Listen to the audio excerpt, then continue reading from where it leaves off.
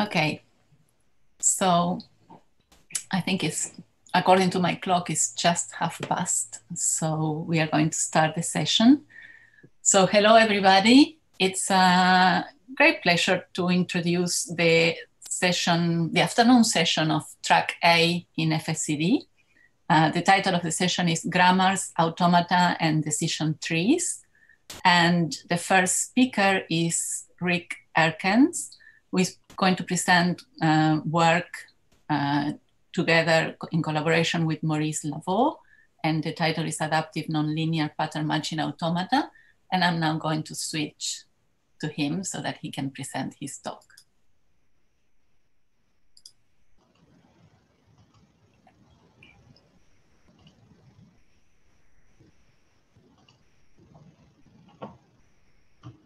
All right. So this still works? It's working. Good. Uh, thank you for the introduction. Um, so a good introduction makes the first slide uh, a bit uh, superfluous. So let's get right into it. Uh, the talk uh, that I'm going to give is about syntactic pattern matching for terms, uh, which is extended to sets of terms. And to do that efficiently, um, a generalization of this problem is called term indexing. Uh, we are going to consider one uh, approach to this problem, which is called uh, adaptive pattern matching automata, uh, which is described in this nice paper from 1992. Uh, uh, our paper extends this approach to also be able to deal with nonlinear terms. The paper focus is mostly about the technical definitions and proving that uh, such an automaton that is uh, generated is correct. Um, however, in this talk, uh, we will only give a couple of brief technical preliminaries. Then we will introduce uh, a notion called consistency automata, which is used to be one intermediate step to introduce adaptive nonlinear pattern matching automata. And when we discuss those, we will uh, talk about some future work. So let's get right into the preliminaries, which are only a few. So we will talk about uh, simple or, or, first order terms. We have uh, a set of function symbols and a set of variables. Uh, every function symbol has an arity, which is just a natural number. And then you can generate a set of terms um, with this signature uh, by induction as we usually do that. Uh, I, I, think everyone is familiar with this notion. Um, if we have such a term, then we can also talk about subterms at specific positions. Uh, a position is a list of natural numbers and we use uh, this notation TP to denote the subterm of T at position P if this subterm exists. It doesn't need to. Um, for example, if we consider this term f of g of x and y, uh, if we consider that term uh, at the empty position, we get just the term itself. Uh, if we take the subterm at position 1, we get the first argument g of x, etc. You, you, get the idea. A, uh, a pattern is a term with a head symbol, or we just say that a pattern is a term that cannot be a variable. Uh, and then we have the root pattern matching problem. Um, so we say that a term t matches a pattern L. If I can find a substitution that can change the variables uh, such that the, the pattern becomes equal to the uh, term that we are talking about. And we say then that the pattern is smaller than the term uh, that we are talking about. Uh, so here you have four examples. Uh, the f of x and y uh, as a pattern um, is smaller than the term f of a and b because we can just substitute x for a and y for b. Um, if we consider the term g of a and b, that is not the case because the, the function symbols don't match. Uh, on the right-hand side, we see an example with the plus. Uh, there we can just take uh, 0 for x, which works in the uppercase, but in the lowercase it doesn't, because we cannot pick two things for the same, uh, same variable. Um, and there we get a crucial distinction for this presentation.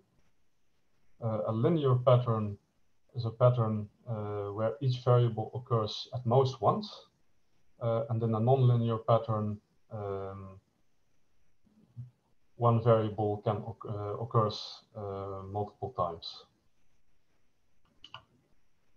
So let's consider this uh, matching problem uh, which is very easy to uh, to do for one term. You can even call it trivial if you want. In the first order setting, you can just check all function symbols, and then you can discover quite quickly that there is a pattern match or not. this match is not the case because the G and the H don't match. Uh, so that's easy, that's good. Uh, but if you want to find all pattern matches for your specific term in one set, that's uh, you, you can just naively extend this uh, solution to all patterns. So this was a pattern match, this one is not, and this one is. And then you have the case where uh, F is inspected three times and G is inspected twice. Uh, and we can do better than this, uh, this naive uh, approach. so this, this problem has been studied a lot in beginning of the 90s, in the late 80s even. Um, and the generalization of this problem is called the term indexing problem. Um, so as I told, we consider one specific solution to this problem for linear terms which is called adaptive pattern matching automata. Uh, solution entails that you take all of your patterns. Uh, for example, if you have the left-hand side of a rewrite system, uh, and you construct this uh, automaton that you see on the right-hand side. Um, and if you want to figure out uh, which patterns match your term, then you can just follow what the automaton tells you to do. Um, each state uh, is labeled with a position. And if you arrive during the evaluation at a state, you want to check what function symbol occurs at that specific position. And depending on that function symbol, you take transitions. Um, you will see more concrete examples uh, during this presentation. Um, where does the word adaptive come from? Well, uh, that means that the positions that uh, occur in those states, they can occur in any top-down order, um, which has to do with uh, this uh, the way this automaton is uh, generated. Uh, and the nice feature about these automata is that, well, the automaton is de deterministic, and in every path, uh, every, every position occurs at most once. So if you follow this automaton, every function symbol is inspected at most once. Um, the, the consequence of this is that your automaton can get very big. Um, but if you have to rewrite a lot of times, or if you have to solve this pattern matching problem many, many, many times, um, then it is very beneficial or, or maybe even crucial to to do uh, this this this good term uh, indexing approach. Uh, the drawback of this approach is that it only works for linear patterns. Um, and we extended this uh, as I will explain now.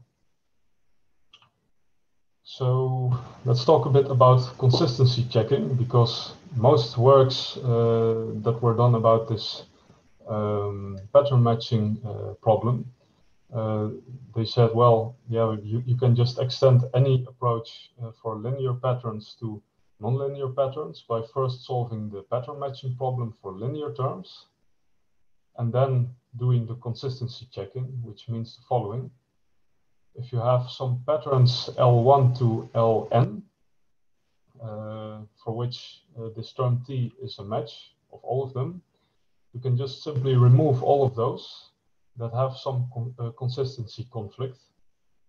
Uh, so for example, this f of a and b matches the f of x and x if, if, f of x and x was considered as a linear pattern, uh, but it's not a real pattern match because uh, as we said before, this is just a nonlinear pattern match conflict.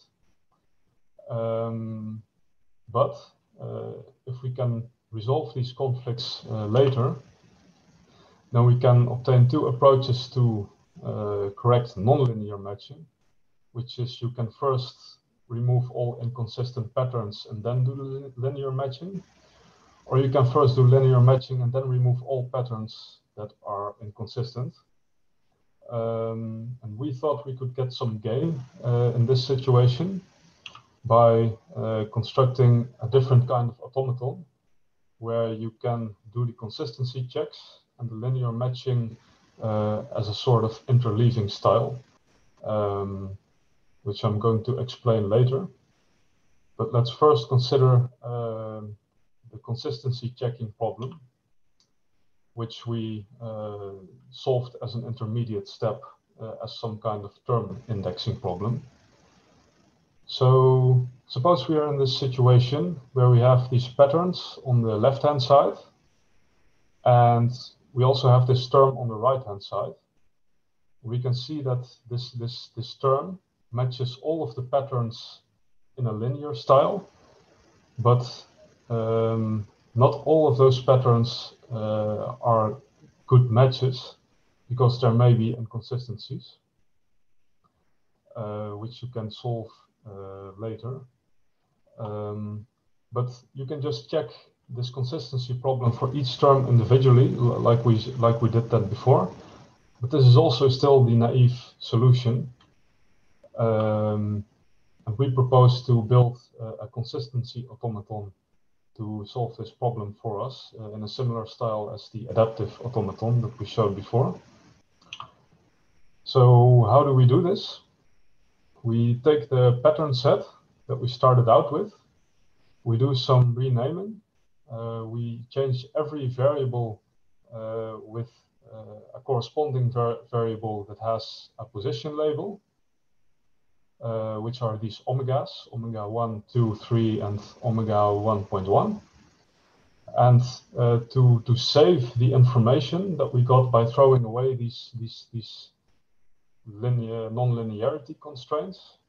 Uh, we also generate a partition for every term. Uh, and in these partitions, we say that uh, the, the same positions should occur in the same set. Uh, two positions occur in the same set in this partition, if they were supposed to be equal, uh, if you did the actual non-linear matching in the first place. Uh, so we take this set of partitions uh, and not the linear patterns. And from this set of partitions, we generate a consistency automaton. Uh, so let's do this. Um, it looks like this. Um, it's also a tree, uh, tree-like uh, data structure, maybe even a decision tree, if you will. Um, in every state, uh, we put a pair of positions uh, that are supposed to be compared if you evaluate a term uh, on that on that state. And the outgoing transitions, they are labeled by check marks or crosses. Uh, which denote that subterms at these two positions should be equal or not. And then you can just navigate through this uh, automaton uh, like you like you would expect to. For example, uh, if we consider this term above, the f of uh, 3 times the g of a, then we uh, follow the red trace.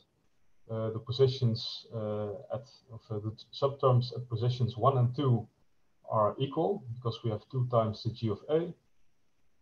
at position 2 and 3, we have the same. And at position 1.1, we have A, and at position 2, we have the G of A, and they are not equal, so then we end up in a state that is labeled with the set L1, L3, and L4. Uh, and we can see that those are indeed the patterns that uh, are consistent with this uh, term that we started out with. So that's the first step. Uh, more on these consistency automata, uh, we, we, we, studied these things quite extensively uh, in the paper. we have a correctness proof for the generation of this automaton. Um, and it's quite similar to the construction algorithm that was used for adaptive pattern matching automata. Um, the, the advantage that we have here is that the, the, the positions that you want to compare, they are not restricted by any traversal order. They are still just as arbitrary as the traversal order that you would choose in the uh, pattern matching automaton. Uh, so that's where the similarities lie. Um, also, every consistency check is done at most once. Uh, but again, the automaton can grow exponentially large. Uh, you can quite easily see that in the example that we considered before, because every state has two outgoing transitions and it can blow up quite quickly. Um, the main benefit that we want to achieve with this is that uh, the subterm equality, so the check that you do at every state, uh, this is just a constant time check if you're in a situation where common subterms are shared in memory. So when you compare two subterms, you just compare two pointers, uh, which is just a constant time check, which makes this quite efficient. Um, and you can actually exploit this as we see later. Um, but this is also a quite uh, quite big assumption. In many settings, this does not really uh, apply. I, I, can imagine. So let's let's continue to the uh, adaptive nonlinear pattern matching automata, which is now just uh, a simple combination of these adaptive pattern matching automata and consistency automata, uh, which means um, the states they, there are two kinds. In a state, you can either check for a function symbol at a specific position that is uh, in the label of the state, or you can do a consistency check, uh, which looks uh, as follows. So if you consider, for example, this pattern set, the f of x and x, and the f of g uh, of x twice, uh, then we can uh, consider the automaton that we have here in the slide. Um, instead of just explaining what this uh, what this does in detail, let, let's just consider a couple of examples. So if we evaluate this thing on the f of a and b, we follow the following trace. First, we check at the empty position. There we have an f. Then we go to the second state labeled with uh, the pair 1 and 2. We do the consistency check. We see that A is not equal to B. Uh, so we take the uh, X transition, which uh, makes us end up in the state labeled by the empty set. Uh, and indeed, if we consider the pattern set that we started with, there should not be any match at all. so this is good. Uh, if we evaluate on the G of A, we check at the empty position what happens. There is no outgoing G transition.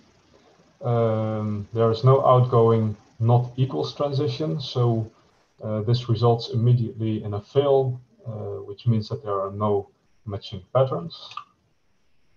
Uh, if we evaluate on this term, uh, then we end up in the set that contains two patterns. And if we match on the f of a twice, then we see that we fail on the G transition, but we can still take the not equals transition, uh, which is taken in any other case, uh, which means that only one pattern matches in this case. So for any pattern set, we can construct this, uh, this automaton. Uh, the construction works like this. I'm not going to explain it like this. Uh, I'm hardly going to explain it at all because maybe I will run out of time a little bit, but we can do uh, a couple of states. So suppose we start with uh, this pattern set. Um, then we rename it like we used to, uh, like I showed you before. Um, so we start from this point at some initial state S0. Uh, we start out with a prefix, uh, which is used as an argument to keep track of what you have seen. Uh, and we use two sets E and N. E is a partition, um, and N is uh, just a set of pairs. Uh, e keeps track of what we already know to be equal, N uh, keeps track of what we know not to be equal. Then we can do a couple of states. Um, so I told you that the traversal order is, uh, is a parameter in this uh, algorithm. Uh, it works as follows. We have some selection function that you can feed some set of positions or pairs that still have to be compared. So at this point of the construction, we say, oh, we want to select some thing from this set, uh, but it only contains one thing, the empty position at this point. So we select the empty position, which is always, in this sense, the starting position of your evaluation, which makes sense. Uh, then we check for all function symbols in the pattern set at this position, and we create outgoing transitions for each of those function symbols. There is only one, so we go with an F transition to this S1. Now we do the same thing. Uh, let's see. Now we have more work to select from. So we can either uh, inspect the function symbol at position one or at position two, or we can decide to do a consistency check between uh, position one and two. Um, this is up to your setting, uh, up to your uh, your your uh, preference, uh, depending on what you want. So you can select, for example, the position one, two, and then you get two uh, then the state is deemed a consistency state and you get two uh, outgoing transitions. So you can unfold this thing a lot more, but I want to go into more, uh, more other details. So let's just skip through because I don't have too much time. Um, more about this uh, procedure. Uh, we proved that the construction algorithm is uh, correct. Uh, this is again similar uh, to the construction for adaptive pattern matching automata and the consistency automata that we showed. Uh, again, parameterized in a traversal order uh, with the advantage that every function symbol is checked at most once. Every consistency check is done at most once. this, of course, results in some heavy, exponentially big automaton uh, which may not be what you want, but if you have to rewrite a lot of times, this, I think this will be very beneficial. Uh, and this constant time subterm equality, if you have it, you can actually exploit this, as I will show in the next couple of slides. But there are still some optimizations that can be done here, because even with our construction, uh, the automaton can still have uh, a couple of redundancies. Uh, as I will explain now. So you saw this consistency automaton before. Um, if you're very observant uh, as an attendee, even via this digital conference, you may know that um, a term, uh, if you consider inductively defined terms, a term can never be equal to one of its subterms. So this is the problem that we have here um, a term at position 1 can never be equal to a term at position 1.1. So these states here are actually redundant, which makes the checks redundant as well. If you can detect this, uh, when you construct this thing, you can make a small automaton uh, on the fly. We know how to remove these redundant states, uh, but we don't know how to construct the optimal locally optimal automaton uh, on the fly yet, uh, even for consistency automata. If you consider this pattern matching automaton, uh, the example that we considered before, um, we did remove one extra G transition. Uh, so uh, in order to definitely know that the pattern G of uh, f of G and X twice matches, you actually have to observe that G is there twice. But you already know that uh, the subterms at this position are equal. You already checked this because of the consistency check. Uh, so you only have to check it once. And this is what I mean by exploiting this thing.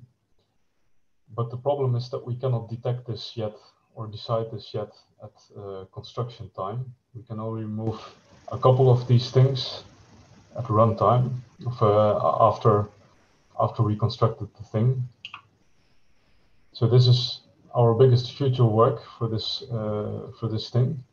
We want to optimize uh, to make sure that the locally optimal automaton with respect to one traversal order is actually minimal and has no redundancies. Uh, for this, you have to clarify the relation between nonlinear matching and uh, linear matching. Um, we have some ideas. We are doing that, but I cannot promise anything at the moment. Um, you can talk a lot about these selection functions. They are very important in determining how good your automaton actually performs in theory. Um, you can talk a lot about that, but we did not yet. Uh, of course, there's also the issue with practical performance, uh, because is this nonlinear approach actually worth it? Does your language actually support nonlinear patterns? Uh, those are very important things to consider before even trying to implement this or even looking at this, this, this solution, even though it's theoretically very nice. Um, and we can also look at other term indexing instances like unification or complete pattern matching. Uh, I've also seen that we will this afternoon hear something about uh, a higher order uh, pattern matching uh, index solution. Um, maybe that's a spoiler, but uh, that's something that you can do uh, as well. Uh, this is my last slide, so I propose that we continue to the questions. Thank you for listening. Okay, thank you for that great talk. Uh, we do have a little bit of time for questions. Um, I don't see any questions in, in the sorry in the Q and A or in the chat but people attendees if, if you have questions if you are an attendee you can raise your hand or put the question in the q&a um, and in the meantime maybe i can ask you one question. I was wondering because you you told us several things about uh, how you could make this better by sharing uh, subterms and the optimizations. But could you tell us something? Do you know something about the overall complexity of the check? Uh, you mean the complexity of the construction procedure or the complexity of uh, checking when so you have automaton? Just if I give you my n left-hand sides and the term, can I know something from the sizes of the L's, L1, Ln, and T about how how difficult or how long the check will be?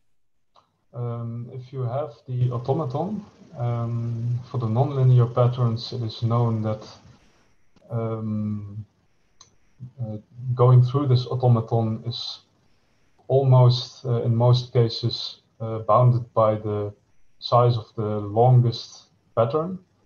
But there are some subtleties here because um, when you have multiple matches at the same time.